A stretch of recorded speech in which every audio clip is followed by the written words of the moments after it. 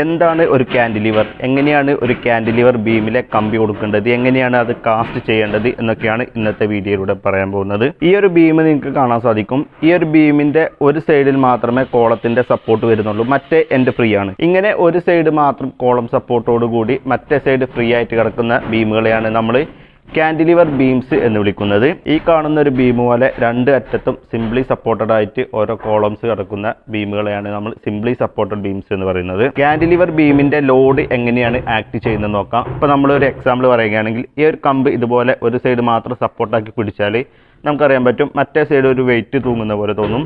അപ്പോൾ ഇതിന്റെ മുകൾ ഭാഗത്ത് ഒരു വലിവാണ് നമുക്ക് ഫീൽ ചെയ്യുന്നത്. അടിഭാഗത്ത് ഒരു കംപ്രഷനാണ് ഫീൽ ചെയ്യുന്നത്.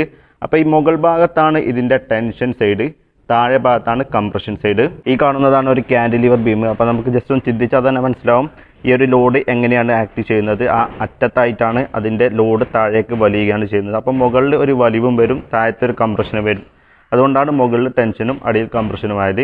നമ്മുടെ സിംപ്ലി സപ്പോർട്ട് ബീമിലൊക്കെ നേരെ തിരിച്ചായിരുന്നു. മുകളിൽ കംപ്രഷനും അടിയിൽ ടെൻഷനുമായിരുന്നു അപ്പോൾ ക്യാൻഡിലിവർ ബീം എങ്ങനെയാണ് കോൺക്രീറ്റ് ചെയ്യുന്നത് നോക്കാം. ആദ്യം ബോട്ടം പലകയും സൈഡ് ബോർഡൊക്കെ അടിച്ച് സെറ്റാക്കിയതിന് ശേഷം നമ്മൾ കമ്പി കെട്ടി കൊടുക്കണം കാൻഡിലിവർ ബീമിന്റെ ഡെപ്ത് കൊടുക്കുന്നതൊക്കെ നമ്മൾ മറ്റൊരു വീഡിയോയിൽ ചെയ്തിട്ടുണ്ട്. കാണേണ്ടവർക്ക് മുകളിലെ ലിങ്ക് ഉപയോഗിച്ചിട്ട് കാണാവുന്നതാണ്. സൈഡ് ബോർഡൊക്കെ അടിച്ചതിന് ശേഷം കമ്പി കെട്ടി കൊടുക്കേണ്ടത് ഇങ്ങനെയാണ്. ടെൻഷൻ സൈഡിലാണ് കൂടുതൽ കമ്പി വരുന്നത്. അവിടെയാണ് കൂടുതൽ ലോഡ് ഉള്ളതുകൊണ്ട് തന്നെ ടെൻഷൻ സൈഡിലാണ് കൂടുതൽ കമ്പി വരുന്നത്. അപ്പോൾ ഈ കാൻഡിലിവർ ബീമിന്റെ മുകൾ ഭാഗത്താണ് നമ്മൾ കൂടുതൽ കമ്പി കൊടുത്തിട്ടുള്ളത്. താഴെ ഭാഗം കംപ്രഷൻ സൈഡാണ് അതുകൊണ്ട് അവിടെ കൂടുതൽ ലോഡ് വരുന്നില്ല.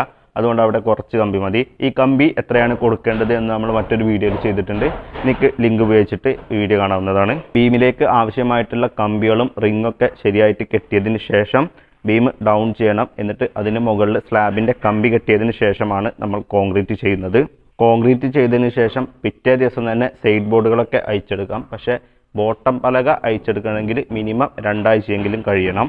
അപ്പോൾ ഈ കാണുന്ന രീതിയിലാണ് നമ്മളൊരു ക്യാൻഡിലിവർ ബീം കോൺക്രീറ്റ് ചെയ്യുന്നത്. അപ്പോൾ ഈ വീഡിയോ നിങ്ങൾക്ക് യൂസ്ഫുൾ ആയിട്ടുണ്ടാകുമെന്ന് വിചാരിക്കുന്നു. യൂസ്ഫുൾ ആയിട്ട് തോന്നുകയാണെങ്കിൽ തീർച്ചയായിട്ടും ലൈക്ക് ചെയ്യുക ഷെയർ ചെയ്യുക സബ്സ്ക്രൈബ് ചെയ്യുക. നിങ്ങളുടെ വിലയേറിയ അഭിപ്രായങ്ങളും നിർദ്ദേശങ്ങളും സംശയങ്ങളൊക്കെ എന്ത് തന്നെയാണെങ്കിലും താഴെ കമന്റായിട്ട് കൊടുക്കുക. നമുക്ക് മറ്റൊരു വീഡിയോയുമായിട്ട് വീണ്ടും കാണാം.